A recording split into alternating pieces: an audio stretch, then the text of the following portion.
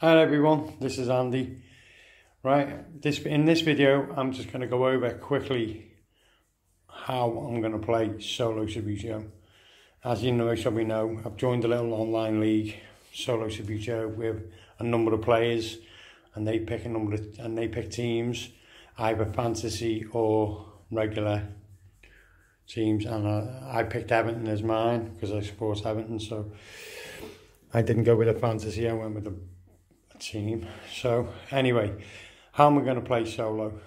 Right, the first thing before I show anything, any any uh, show you anything, I just want to go through the most. I think the most important thing is in solo is honesty.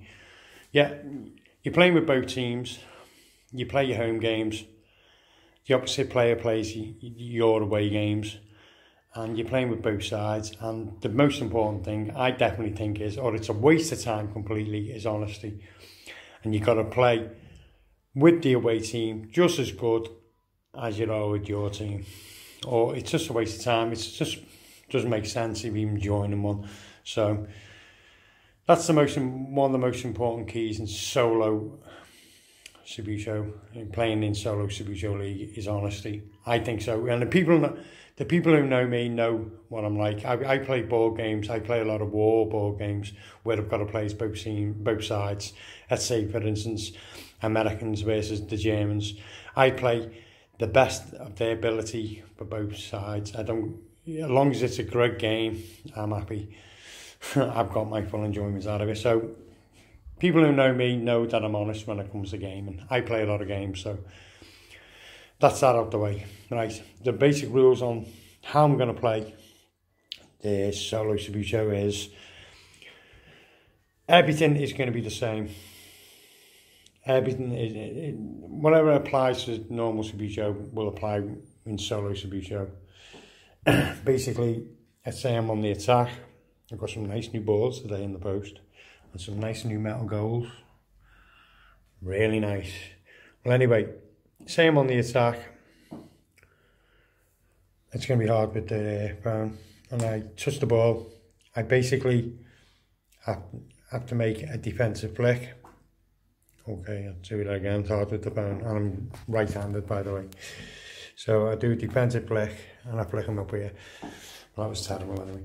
Right, uh, that's how I'll be playing. So basically, whoever's attacking, I take control of the defending team as well.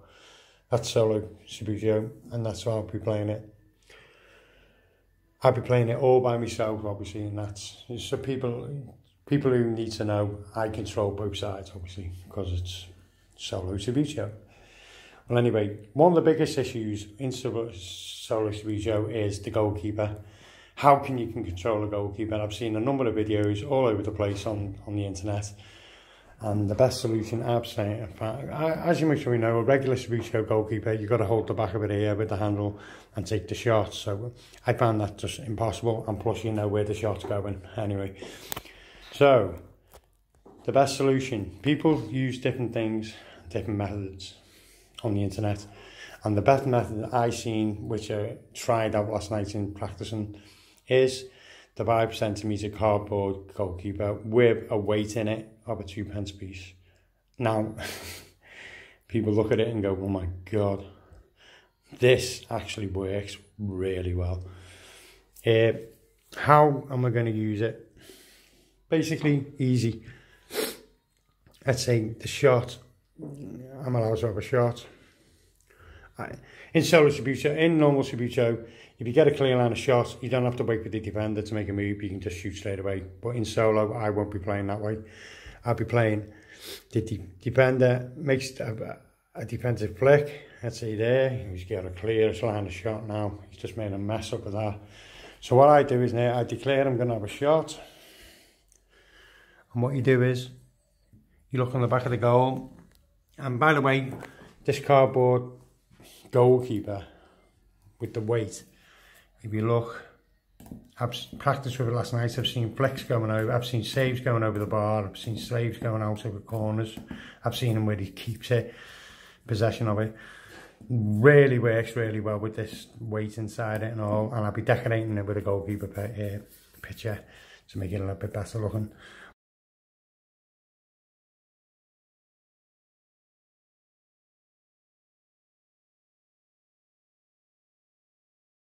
But this is the best way. So the goal, this is how the goalkeeper works. I, you're not allowed to bring him out of the six yard box for a start.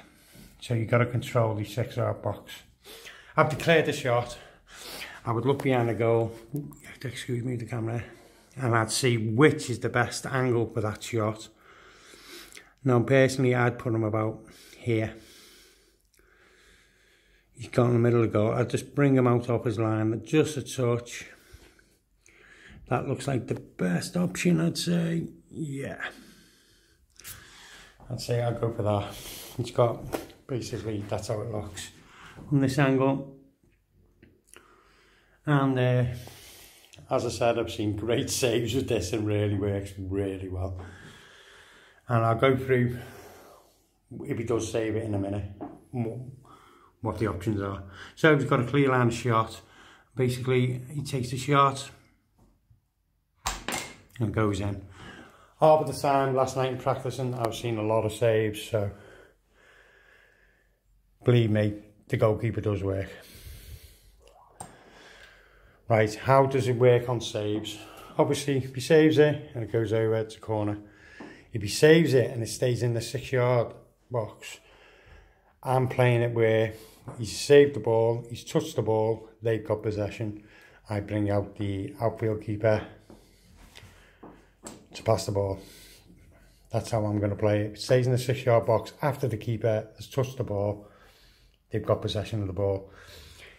If he saves it and it comes back out and doesn't touch any player, I'm playing it where he's got control of the ball. The opposite side, he's touched it, they've got possession of the ball, they've got control. That's how I'm playing it. Now, if he saves it and it touches an opposite player, where he can have a shot again. So it's basically, he's pushed it out. It says from opposite player. How I'm going to play it is, the defending team does not have a defensive flick. He doesn't have a chance to block the shot. The, the goalie cannot move. I can't pause play to adjust the goalkeeper. Basically, if he saves it and it comes out and it hits an opposite player, the opposite player has got an opportunity to shoot straight away. No, no defensive, no defensive blocking, no goalkeeper adjusting the goalkeeper. If he saves it and it hits an opposite player, I can shoot straight away. without movements, without a defensive flick, without goal, goalkeeper movements, and that's how I'm going to play it. So that's the goalkeeper, basically the goalkeeper's rules. I'll go through it again very quickly. When I declare the shot, I've got to pause. I've got to decide which is the best. Which is the best position for the goalkeeper to be. I can come out to the six yard box, I can go anywhere and stay in there. I've got to think of the best position for the goalkeeper, which I'm going to pick here again. Then I go back to the outfield player. Obviously, he's made the move first before I adjust the goalkeeper. And then I take the shot. Let's see what happens this time. Oh, he saved it, but it went in the net, so it was too powerful. Just pick him up. so yeah. so that's the shooting. So a pause, adjust the goalkeeper to his best ability, and then take the shot. As I said, if he saves it, stays in the six yard box, they've got possession of the ball. It's a change of control. If he saves it, comes out and doesn't touch no one, the defensive team have got the, uh, the control of the ball. If he saves it and then it's an opposite player, how I'm going to play it is they don't do a defensive flick. I don't pause the game to to decide because he saved it. He's he can't move about. He's just done a quick reaction save. It's come out. It's, just, it's an opposite player, so the opposite player can just shoot and um, have a scorer whatever. So that's the goalkeepers uh, basically, and that's the best way I've found on the solo league football. Uh, solo Subbuteo League. That's how I'm going to play it. But as I said in the, at the beginning of the video, honesty is the most important part of it all. I'm here to enjoy this game as the best I can, and uh, and I hope everyone else in the league does exactly the same. It's not worth saying uh, pretending you win every game or playing better with your team. It's best to just play equal on both sides, enjoy the game, enjoy for what it is, and let's enjoy Subbuteo. So thanks for watching, guys. Now it's on my first game. I've got to get cracking with this. So catch you guys later and uh, keep it out for results. See you later, boys.